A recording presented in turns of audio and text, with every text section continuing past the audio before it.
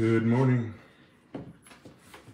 We made it to Friday.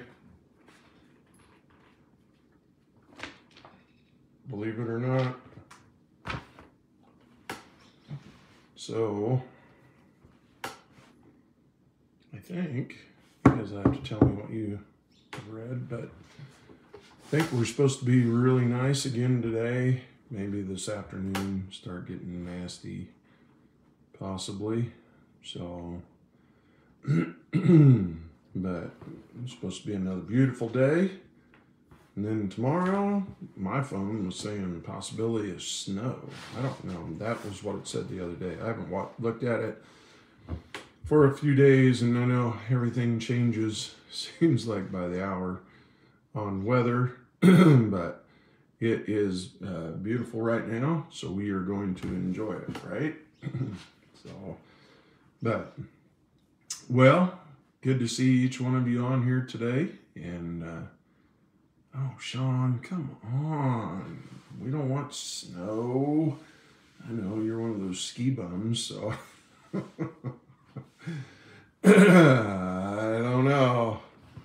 I'm uh, I'm kind of ready for the uh, sunshine, open water, so I can get my fancy boat out on the water here before too long. So, but anyway, it's a good day. I did hear that uh, Judy Summers is going to be able to go home today.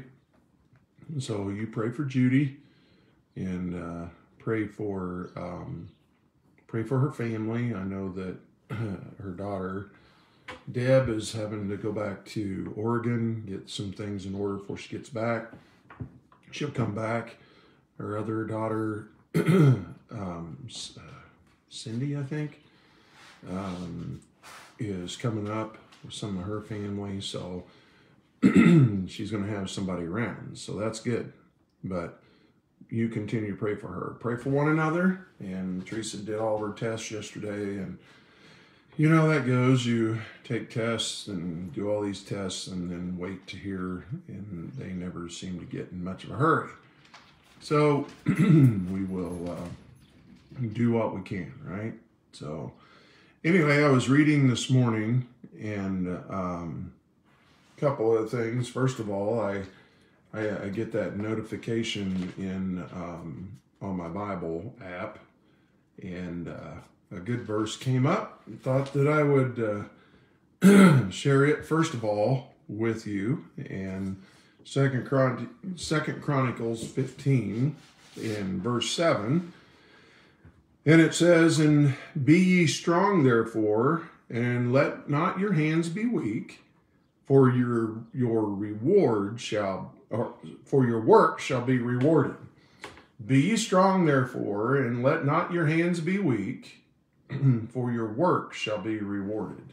And you know, we just need to I know I harp on this, but it is my devotion, right? it's what God seems to be giving me, at least this week anyway, is to uh, stay the course and do what we need to do and um, just be right with Him. And, you know, we, we keep a close account of sin, we confess that to God, we make sure that we are uh, cleansed from those things in our lives and then walk powerfully in the spirit and to be used by God and be strong in doing that. And don't don't um, do not uh, let let this world get you down and cause you to uh, fall into a path that you don't want to go. Right.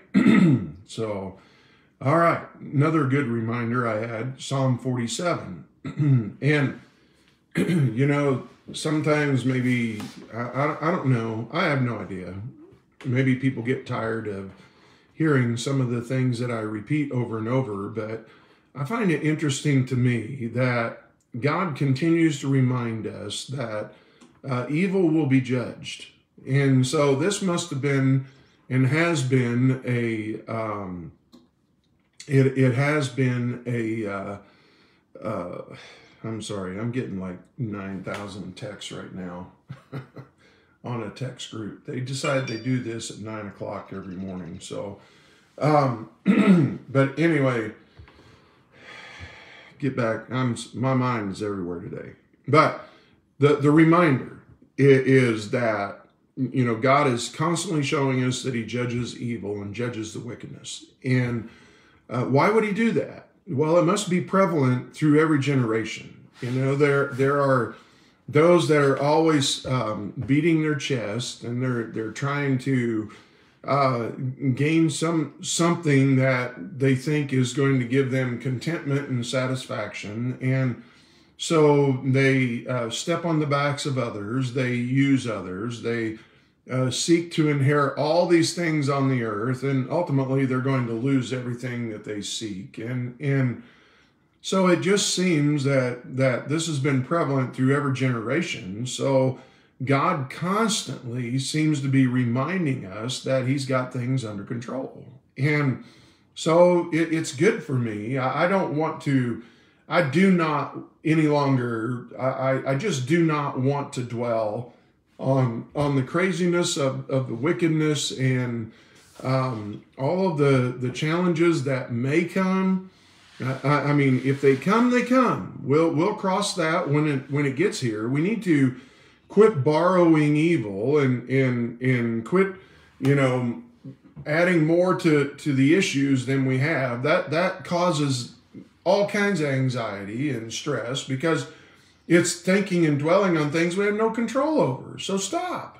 You know we need to stop doing that and and just focus on what we need to be doing today. And, and um, that's that's for me. I, I i just don't you know, let let these morons kill each other. I, I mean, Ukraine, Russia, blow each other all to smithereens, and and you know, let let BDB bang his chest and think how great he is. God could wipe that whole mess out with a spoken word if he wants to, and, you know the the the arrogance of all of that, and we we just need to stay focused on. I need to stay focused on knowing that God's got things under control. And the devil constantly wants us to uh, give give thoughts to um, you know anything but God, right?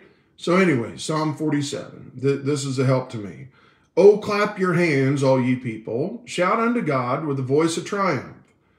For the Lord Most High is terrible. He is a great king over all the earth. He shall subdue the people under us, and the nations under our feet. He shall choose our inheritance for us, the excellency of Jacob, whom he loved. Selah. God is gone up with a shout, the Lord with the sound of a trumpet. Sing praises to God. Sing praises. Sing praises unto our King. Sing praises. For God is the King of all the earth. Sing ye praises with understanding. God reigneth over the heathen, God sitteth upon the throne of his holiness.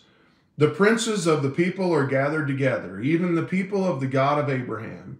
For the shields of the earth belong unto God, he is greatly exalted. I, am right here. We, we need to praise God. We, we need to remember that, that God sits on the throne today and God will, will do what God wants to do. And uh, we just we need i don't say just we need to do what god tells us to do and live the way that god wants us to live and be honorable and pleasing to him in all that we do. And just stay stay the course.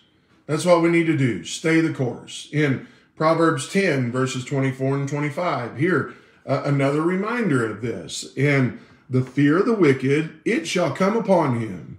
Remember Job, I, I believe this is what, what it's saying is Job said that my, my worst fears have come true. Well, here we have this is a curse to the wicked the fear of the wicked it shall come upon him his own fear that maybe he two two ways maybe the the fear that he instills in others it'll come upon him or the fear of the, the things that really terrify him, that is coming.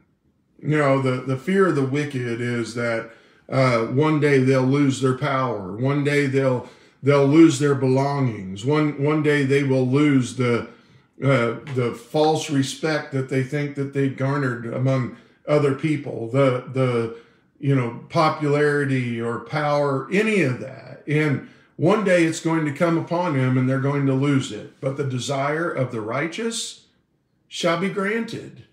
I, I mean, we and why? Because if we're righteous, we're going to want God's will in our lives, and God will perform that. And we ought to be grateful for that and know that that God's got things under control. And then look at verse 25. As a whirlwind passeth, so is the wicked no more. Well, you know, they can beat on their chest all they want. Hillary can continue to promote herself and think that in her mind that she should be president and she can she can do everything she can to become what she would think is the most powerful woman in the world. And uh, the whirlwind passes so is the wicked no more. I mean god god can do whatever he wants to but the righteous is an everlasting foundation. And so good reminder to me today. Um, I, I didn't read much on the news today other than we know that uh, little Napoleon, uh, that that moron tried to blow up a nuclear power plant. all for power. That's all it is. All for power. So he's willing to blow up a nuclear power plant, uh, set it on fire. Good thing that it didn't blow up, but um, you know, we just see the the idiocy of, of uh, people today wanting all of this, and we need to learn to just be satisfied with what God's given us. And and then also let let's let's go on and and uh, yeah. Susan, it's probably best if we don't get any news updates, right? I uh, I, I don't know. I mean the the the news anymore all it does is it seems to promote the wicked and the evil, right? So, all right. I'm I'm also my my mind's everywhere because my wife had to leave early, and these dogs are lunatics today. this warm weather has them acting nuts too. But let's go on, and and um, the uh, the the arrogance of of religiosity, we might call it the the religious, and um, we should we we just never should um, put I don't know levels of of maturity based on on works. I, I, I our maturity ought to come by a closeness that we have to God and and in obedience to what God tells us to do and you know, men are all the time adding things that we need to do, and, and this will uh, show people that we're religious or show people that we are, uh, I, I, don't know, what whatever that, and so so often it's just hypocrisy. But it seems like people are so willing to guard those things that they're willing to throw away a true relationship with Christ. And I say that because uh, I was reading in, in Mark, and I was in Mark chapter 11 and verse 15. And, and, uh, no, where am I at? I'm sorry. Mark, Mark chapter 11 and verse 28. Sorry about that. And, and, uh, this is what they say to Jesus. All right. and, and this is the chief chief priests, the scribes, and the elders, and say unto him, By what authority doest thou these things? And who gave thee this authority to do these things?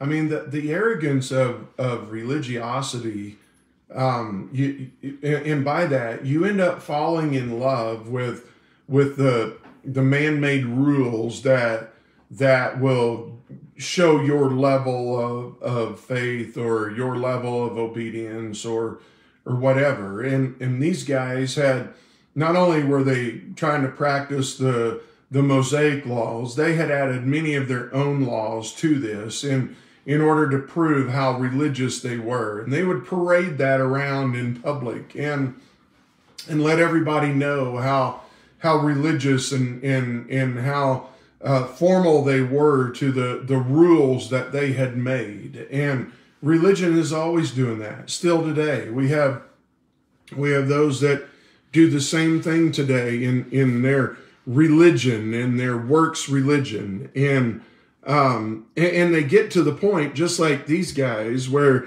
they can't even recognize Christ. All they recognize uh, are their works, and their works then become the whole driving motive for everything, including their power over other people. There, in in in in true faith and in true relationship of Christ, there there just is not that this hierarchy that that the the man wants to put on people. And the ground is level at the cross for everyone.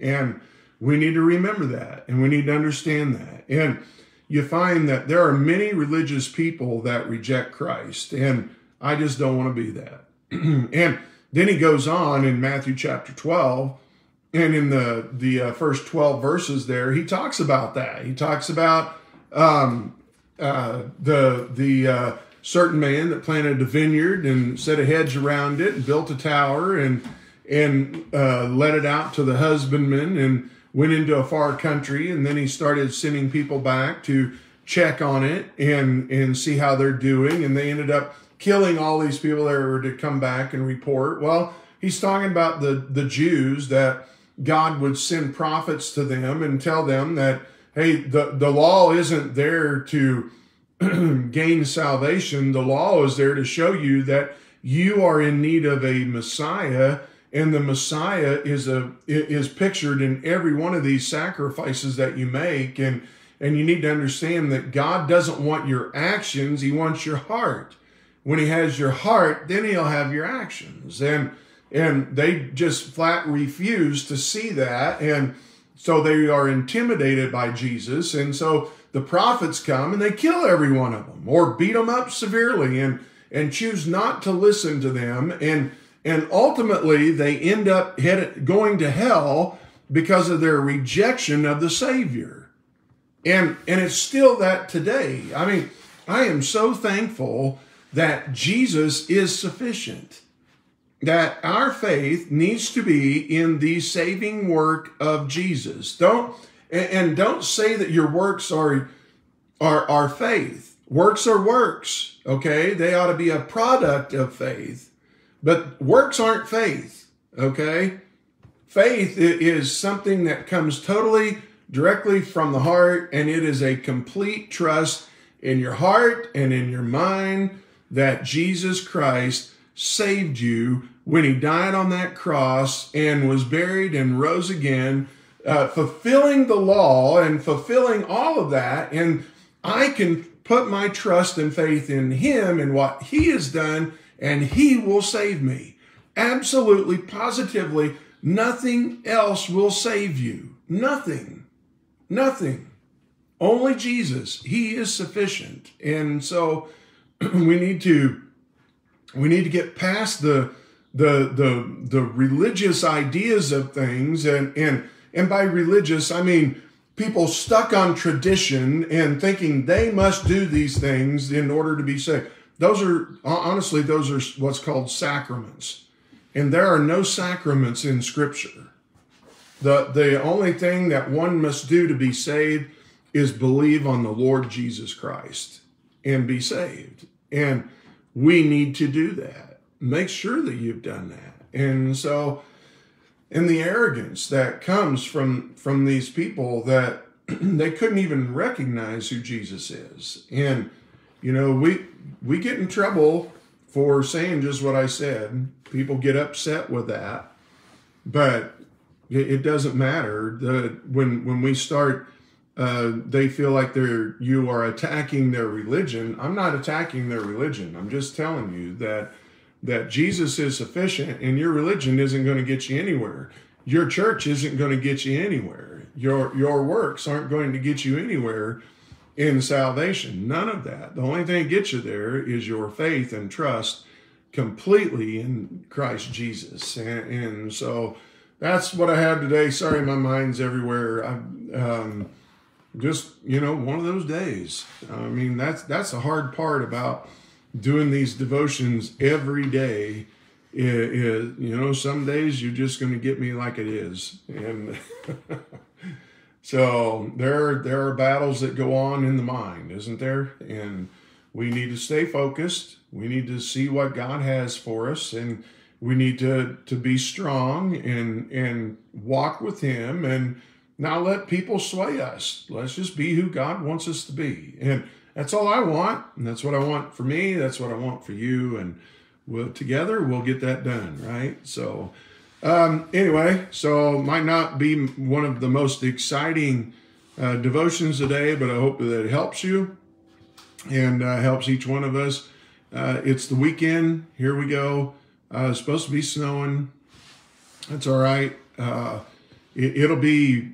Uh, you can just know that uh, Sunday that it, it, would have to be a full blown, all out, uh, stop the world from turning blizzard for for us to cancel a Sunday morning. Okay, so Sunday night or Wednesday night sometimes are a little different, but um, Sunday morning you can pretty much count that we'll have church services on Sunday morning, but it's totally up to you whether you come or not. That's why we have live stream, right? And if you can't get there, I understand, but just plan on we'll have church service on Sunday and uh, be in your spot if you can. And uh, you know, you're missed when you're not there. Wherever your church is, be be where you need to be and be in your place and and be an encouragement to others around. It's God's day. Let's give it to Him, right? So, you guys have a great weekend, and uh, I know it did start with the quarantine. You're right, Sean. Uh, two years, almost two years, we've been doing this. So it's good though, isn't it? God bless you guys and have a great day.